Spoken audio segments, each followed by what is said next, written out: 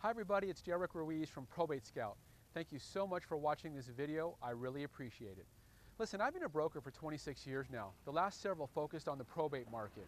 In fact, I'm standing in front of my latest probate listing at 3948 Walgrove Avenue in Mar Vista, a little area of Los Angeles about 10 minutes to Venice Beach. Over the last couple years, I've had a lot of agents ask me, Derrick, how do I learn how to sell probate properties? In fact, so many asked me, I decided to create an online video course for brokers to teach them the ins and outs of listing and selling probate properties. However, the course is not finished yet, but in the meantime, I do have a free gift for you. It's, it's kind of a brief uh, overview of listing and selling probate properties. It's called the Five Simple Steps to Finding, Listing, and Selling Probate Properties. It's a series of five videos that'll teach you kind of a basic overview of what it's like to uh, work in the probate market and what to expect.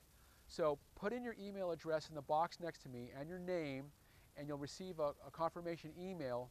Go ahead and click that and you'll receive your first video in this series, Five Simple Steps to Finding, Listing, and Selling Probate Properties. From me, it's completely free and you'll also get a bonus gift after the last video. You'll receive a PDF of this course for you to download onto your computer and keep for uh, future use. Listen, I love selling probate properties. It's so much better than short sales or chasing asset managers for REO properties from banks. My clients appreciate my help and it's a great little niche to add to your real estate practice. This is Derrick Ruiz from Probate Scout.